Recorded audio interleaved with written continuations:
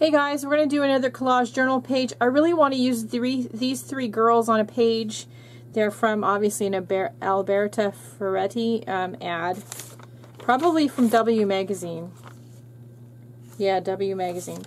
Um, so we're going to use them. I'm going to hide the Albert, Alberta Ferretti name with flowers, maybe some jewelry crowns, maybe some butterfly wings. I don't know yet. I've got a bunch of pieces and parts and maybe a quote for my quote box because that's what I'm feeling, but we'll see what happens. I will start putting my stuff together, cutting my bits and pieces out. I'm going to speed through it. I'll be right back.